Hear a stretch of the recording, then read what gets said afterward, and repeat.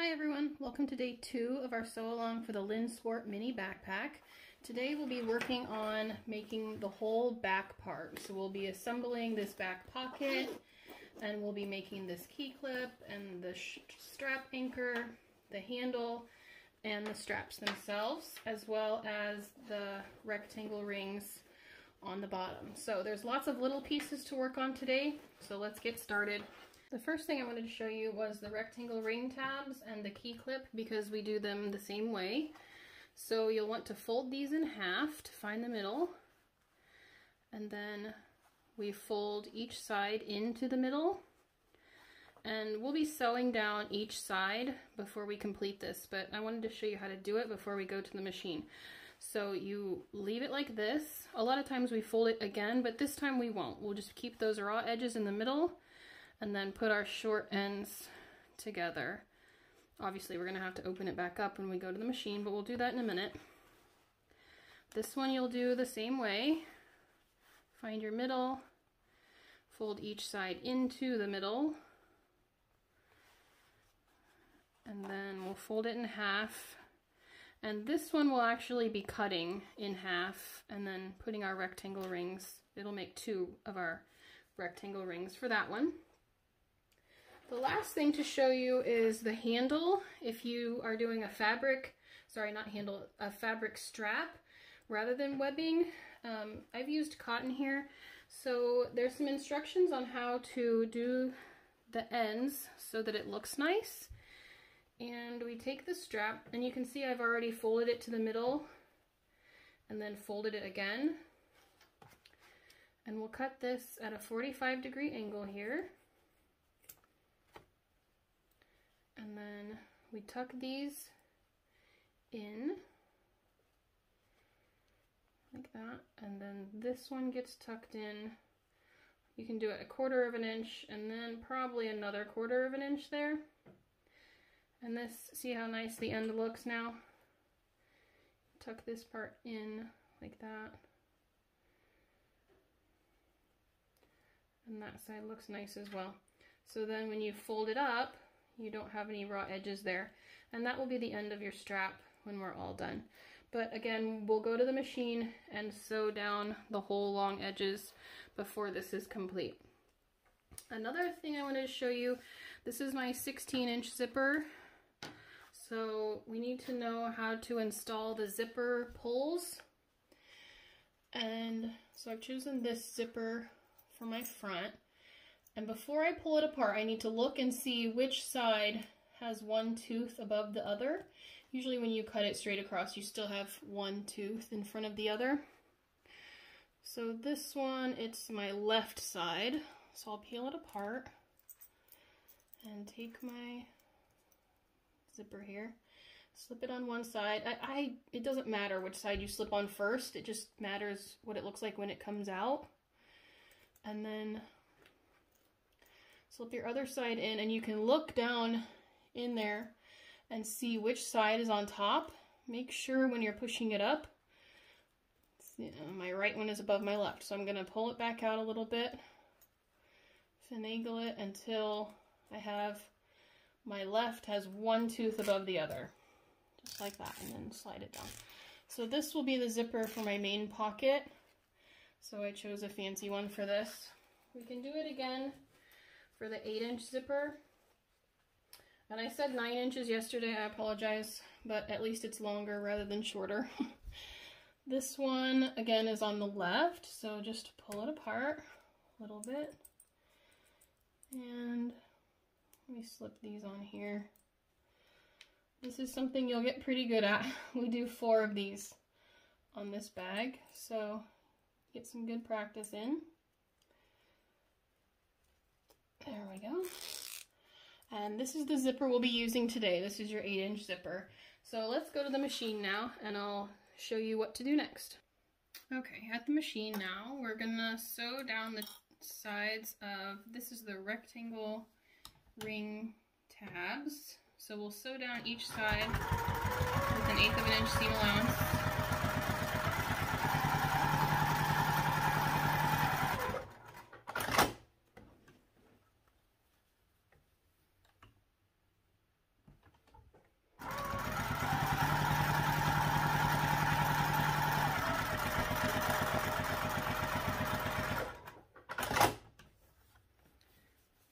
So you have it looking like this. We'll fold it in half and then we'll be cutting that.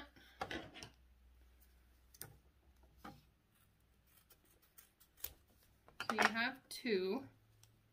And then these will be for your rectangle rings. On your rectangle rings, a lot of them have a split on one side and no split on the other. These are one inch rectangle rings. I like to cover up that split so that you don't see it. So you can cover that up with your rectangle ring tab and then it's gone. We'll be using these a little bit later, so just keep them like that and set them aside for now. Do both. Okay. And the next thing is this little piece for your key clip. We'll do the same thing, sewing down each side.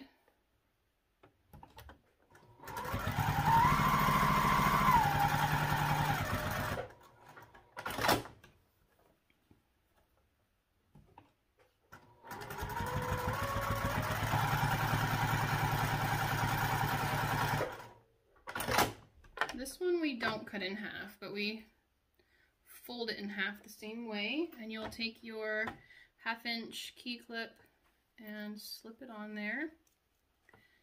You can put a rivet if you like, just for some extra decoration. I usually don't because I don't have a rivet press, but that's your key clip. We'll use that in a little while as well, so you can set that aside. The next thing we'll do is our strap. If you're using webbing, you won't be doing this step, so you can skip it. But I'll show you one. We just sew down each side.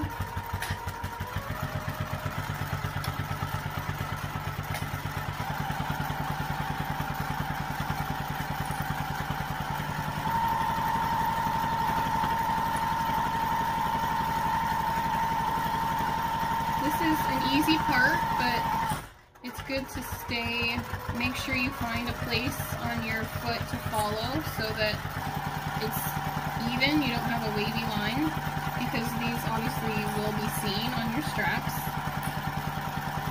This is cotton woven I've used here, and I did interface it with Woven Fuse. So just my regular woven interfacing. And I'll go down the other side as well. I'll do that later though. The next step is, so you'd go down both of your straps on both sides, but I've shown you enough.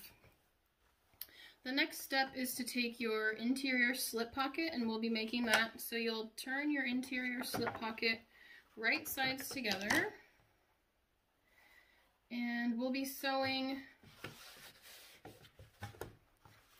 so down one side and then in a little bit, start again, go to the side and back up. So we'll be leaving about a four inch gap at the bottom to turn it with.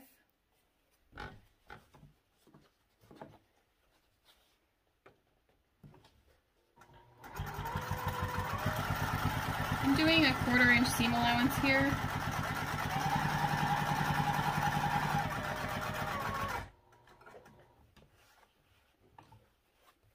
I'll go in a little bit and back stitch to make that seam strong.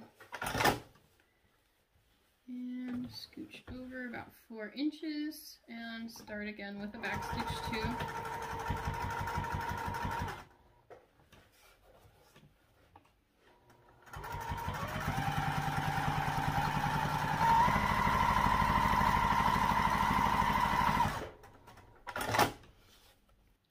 Next step is to trim the corners. So make sure not to get super close to your stitches. You don't want to make a hole, but you just trim these corners off a little bit. That'll make it easier to turn. So then we turn our pocket right side out.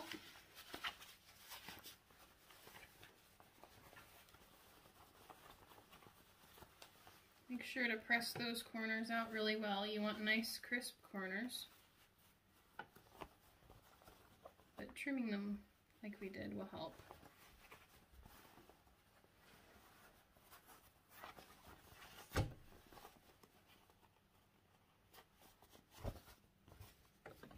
Okay. obviously I'll use the other side. It's a directional print, so. Okay, and then you'll grab your one of your linings of your waterproof canvas and we'll be top stitching this onto it. So I have mine here. And then, so we'll put it in the middle. Well, let's top stitch the pocket first. You want to top stitch the pocket down about half an inch.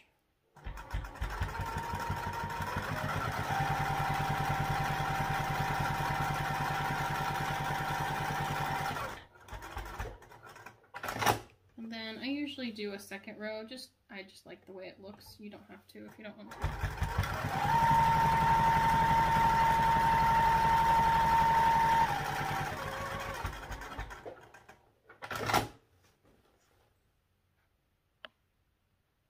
Okay, and we place the pocket three and a half inches up on our lining. So we have our waterproof canvas lining here. This is one of the full ones. Measure up three and a half inches and you'll place the open side, we'll be top stitching this. So place your open side at the bottom, measure up three and a half inches and that's where you will place your pocket. And we'll just be top stitching this. I made my pocket a little bit longer when I cut, so mine's not quite three and a half inches. My pocket's a little bit deeper. So if you just place this on here, I usually don't pin it. It usually stays okay if you just lay it on there, but do make sure that it's straight and that it's even side to side before you top stitch it. So you'll be top stitching down one side, across the bottom, and then up the other side, eighth of an inch seam allowance all the way around. And I recommend back stitching on each of the top sides so that there's some extra strength there.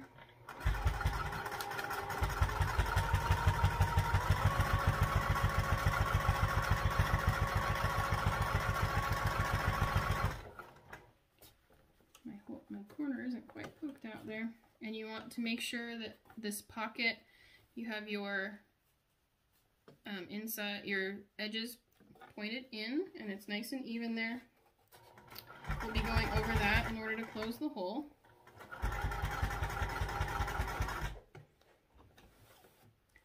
And how I do this pivot is leave the, your needle down, lift your foot, and you can pivot that way.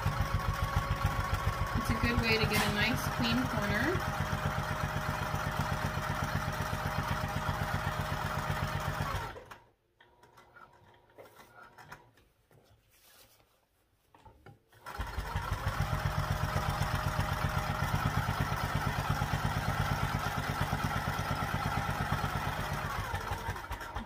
and back stitch here.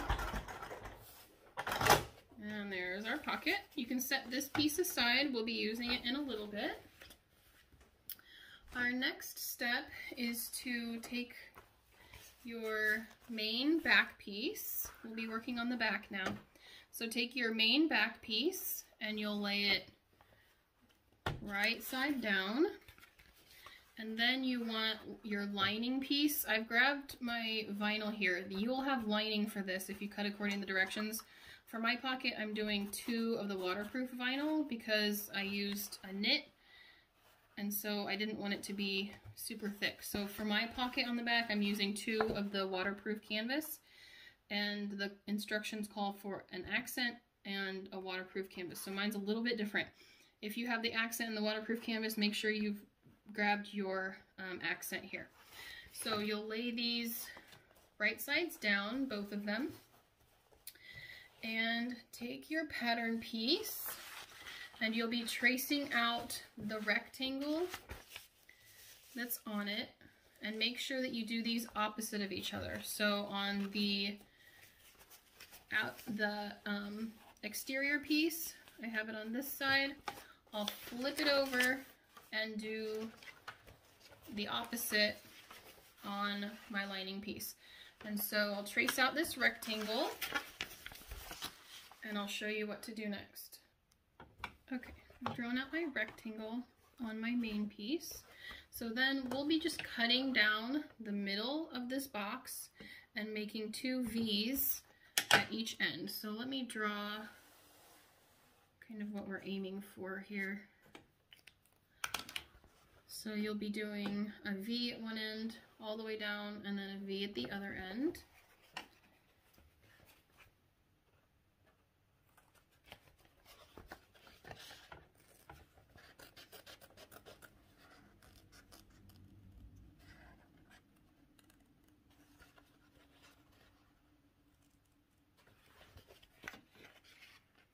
To start in the middle and then work out and do those V's at the end.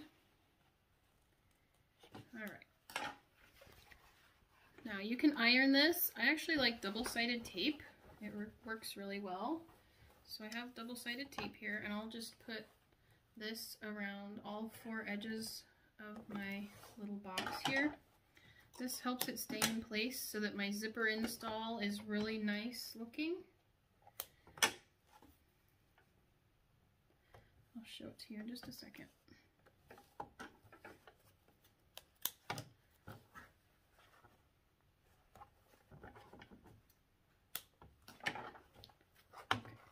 I have double-sided tape around it all.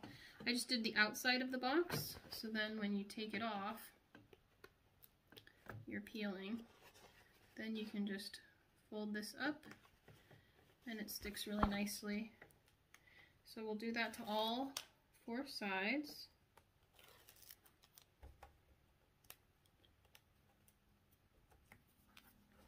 You can iron this, that works too, whatever works for you. I find the double-sided tape helpful, so that's what I use. And pull these out on each side. Make sure that you don't have any waviness on your on your little hole there, it, it will be seen when you have your zipper. The next part is to grab your 8 inch zipper that we put our zipper pull on earlier. So we have our 8 inch zipper and you want your zipper to be pointing up so that when it's fully zipped up it'll be at the top. So make sure that you have your top pointing to the top of your piece. And you'll lay this, I again like to use double-sided tape to put my zipper in. So I'm going to line the box again with double-sided tape. This time I'll just do the two long ends. I don't need to do the short ends this time.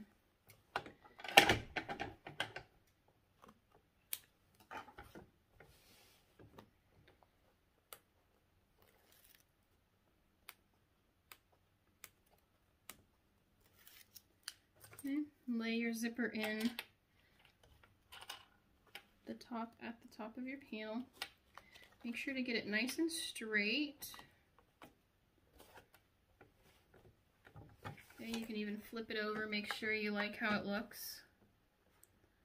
Looks good. Okay, so then take your lining, and we've done the same thing with the lining. Remember we did it mirrored, and I went ahead and used the double-sided tape on this too, but it's kind of coming undone. So I'm going to press it back down. Obviously with the waterproof canvas, I can't iron it, so I'm going double-sided tape on this. Okay, and this one we want to put wrong side together on the zipper. So you can see I have the right side with the nice zipper there, wrong sides, and this we have the pretty side like that. Okay, so I usually throw a couple of clips on here to make sure the edge stays in place as we sew. I don't want that curve getting away from me. Okay. What we'll be doing is sewing right around the edge with an eighth of an inch seam allowance. You shouldn't need your zipper foot, but keep it handy just in case you do.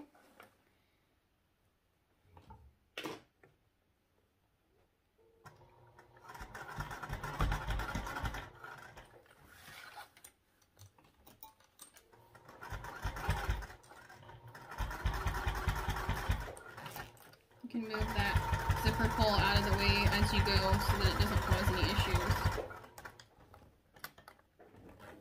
Back up.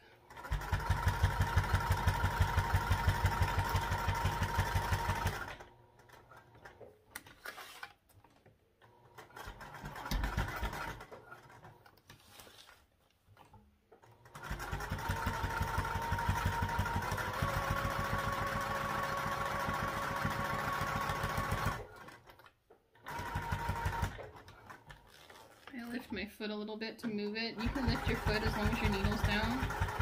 It doesn't hurt anything. Alright. So now our zipper is installed there. Here's what it looks like on the back. So we're done with that part for now. The next part is we'll take our strap anchor piece and we'll be folding the sides of this in a quarter of an inch and it's a good idea to iron this. So I'm gonna iron it. I'll be right back. Okay so I've ironed my strap anchor piece. You fold these in a quarter of an inch and iron. And actually one of the sides which will be the bottom so if you have a directional fabric pay attention to that. So I'll do that here. Sometimes you can kind of put it halfway off of that and it'll help it stay down a little bit.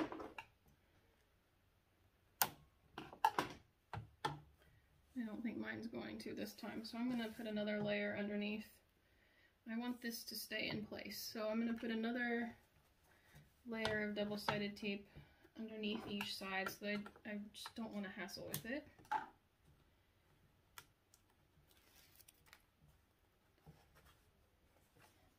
With the knit, it doesn't quite lay as flat as the, the wovens do. Alright, so this piece is the strap anchor piece, and we're going to be using this to hold our carrying handle and our straps in place. So we measure down, I like to use my ruler, measure down one and a quarter inches from the top, and make sure it's even. You don't want it to be crooked one way or the other and you lay your anchor strap right where your ruler is. Make sure that it goes all the way across. Mine's not quite. Okay, there we go. So it should reach all the way across. And then, since we have that adhesive on there, we can stick it down.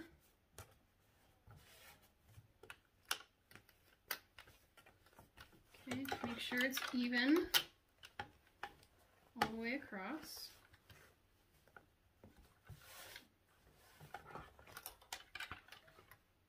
Okay, now we'll take our carrying handle that we made. Well, I guess we didn't actually make the carrying handle. I forgot to show you how.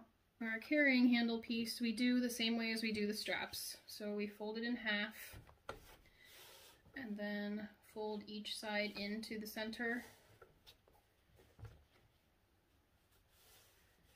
and fold in half again. And that's our carrying handle. And we sew down each side just like we did for the strap.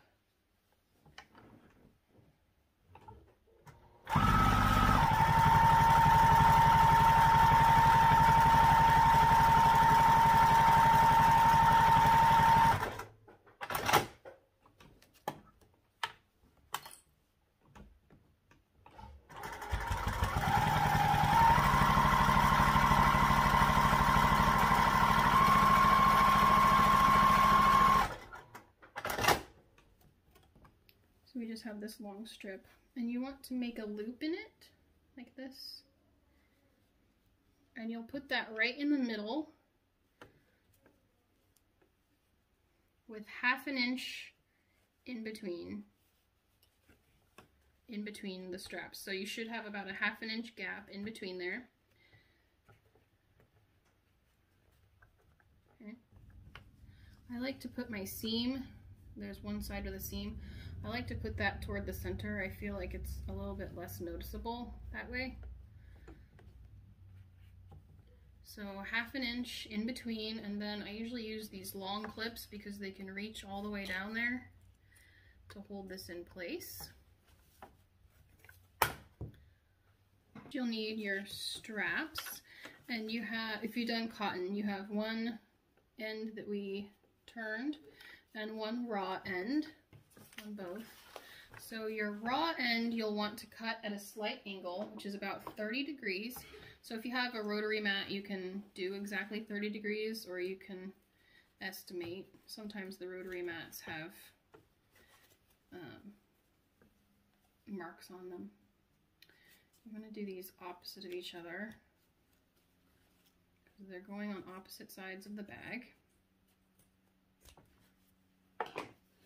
Okay.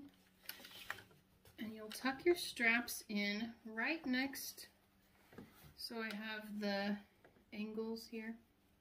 You'll tuck your straps in right next to your handle and slide it down in there. And we can use more of these big clips to hold it in place. And we have this clip here too, or strap. So we slide that right in next to there. So you have your angle, you want it to angle out toward the edge. And that just helps it lay a little bit nicer on your back when you're using it so that it doesn't have a twist.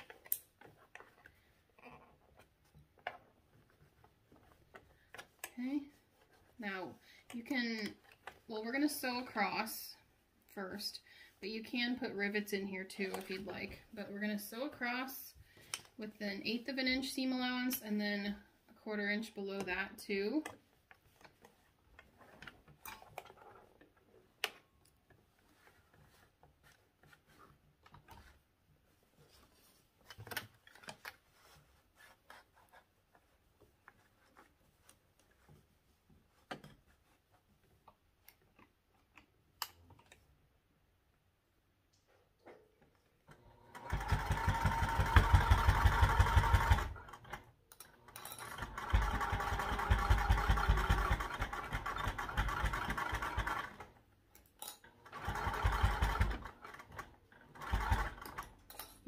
Sure your straps look even. The angle is roughly the same.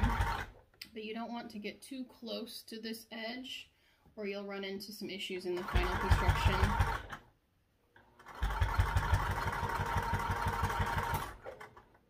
We'll do a second row a quarter inch down from the one we just did. Before you do this line, I would make sure you like how everything's lined up handles and your straps. Okay, we're gonna do the bottom of this, but before you do that, make sure you stick your key clip in. We'll do this two inches in from the side, and you just slip this under your adhesive on your strap there. So it's two inches in, and we'll do the same thing, an eighth of an inch in from the bottom this time, and then another quarter inch.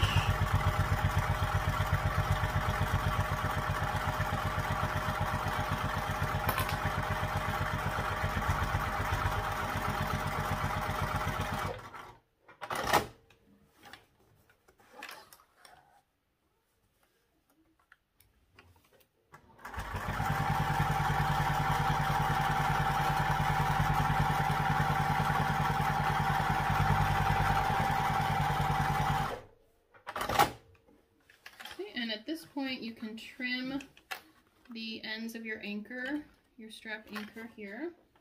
So I usually turn it over to do this so I can see a little bit better what I'm doing and just trim them to match the shape here.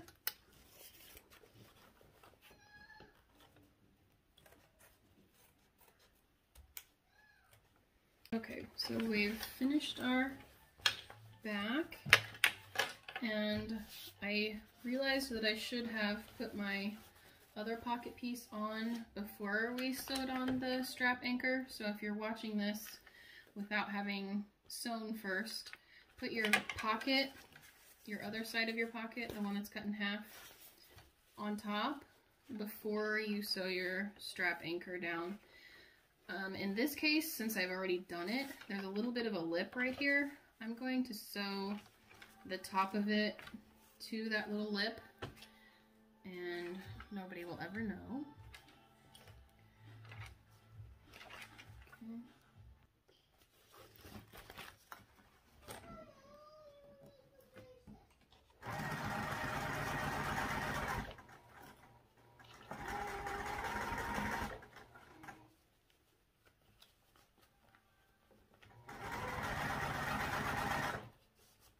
Make sure it's even there when you do this.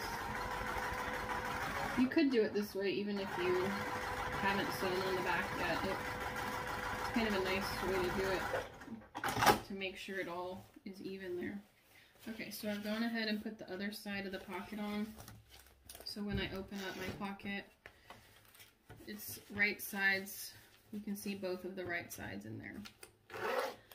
Okay, now the last part for today is to take your pocket that we made earlier and take the back right side down and put these wrong sides together and then we'll just be basting this in place. So go ahead and baste that and that's the last step for today. So you've completed the whole back and you can go ahead and post a picture of this on the Facebook group to be entered for today's prizes. I'll see you all tomorrow. Bye-bye.